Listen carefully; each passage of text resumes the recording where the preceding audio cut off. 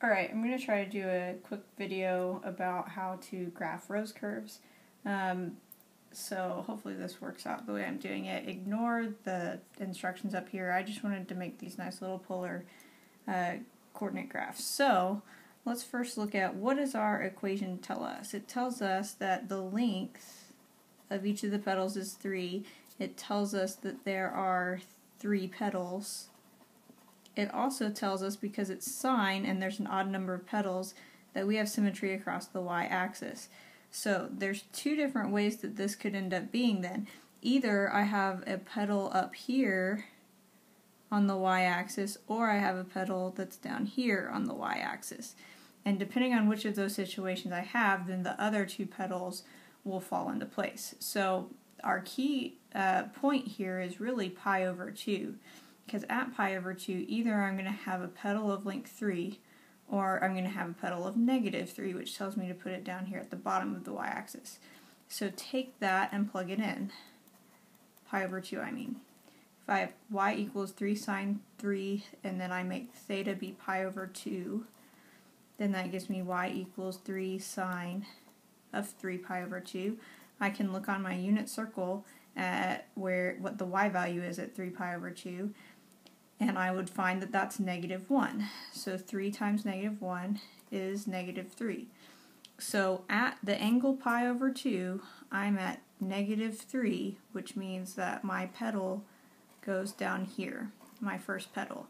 And then from there, if I have two more petals that have to be somewhere up here and have to have y-axis symmetry, that means one's going to be in this general area and one is going to be in this general area and you know our graphs don't have to be perfect. I just need the gist of hey there's three petals length three y-axis symmetry and that they're in the gist of the right spot.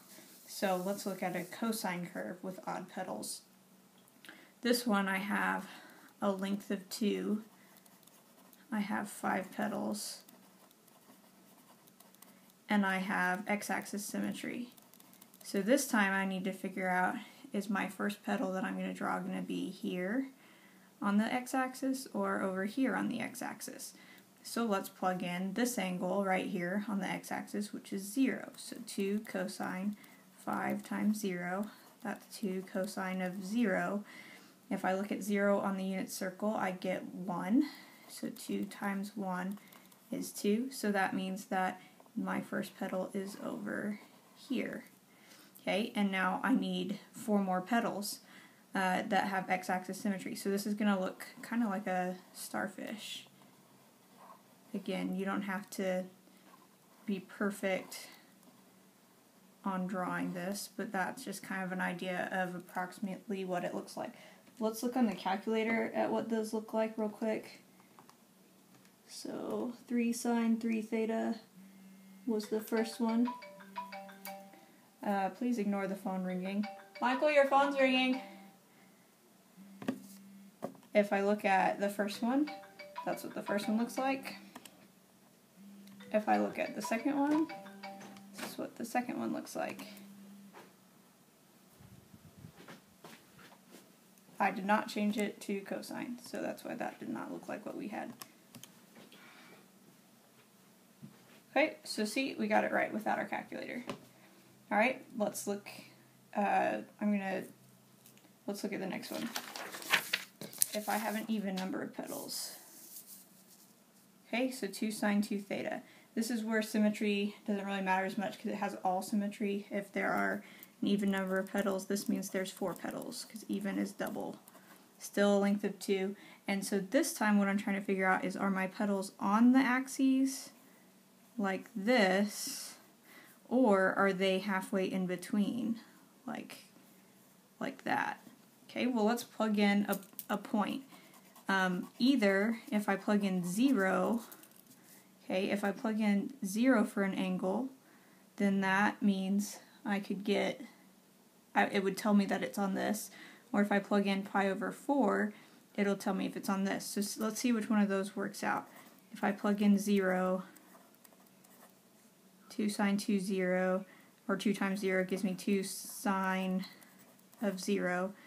Sine of 0 is 0, which gives me 0. That's not helpful. Um, so let's try pi over 4. Okay, 2 times pi over 4 is pi over 2. Sine at pi over 2 is 1. Yeah, it's totally 1, so that means 2 times 1 is 2. So, when we plugged in pi over 4, which is this angle right here, we got 2, so that means I have a petal here. And that lets me fill in my other three petals because I have to have symmetry across the y-axis, the x-axis, and the origin. So it looks kind of like an X. Let's look at cosine real quick. Now this one has twice as many petals as this. So this is 8 petals, length 3. So uh, again, either I've got petals that are on the axis, so like a petal on each axis and then one in between, or all of my petals could not be on the axis. So let's plug in 0 and see what happens, and then we'll have to go from there. Okay, if I plug in for cosine uh, 4 times 0, that's cosine of 0. Cosine of 0, if I look at the unit circle, is 1. 3 times 1 gives me 3. So yeah, we will have a petal right here on my axis. Well, that means I'm going to have one on this side as well. I'm going to have one down here. I'm going to have one down here, I mean up here, and then I have one in between on each of these. like so. And then we can graph on our calculator and check to see if we were right. The first one was 2 sine 2 theta.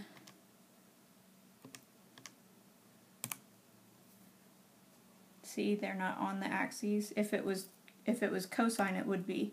So if all I do is change this to cosine, see how it would be. And then if I graph the actual one we did next, which was uh, 3 cosine 4 theta.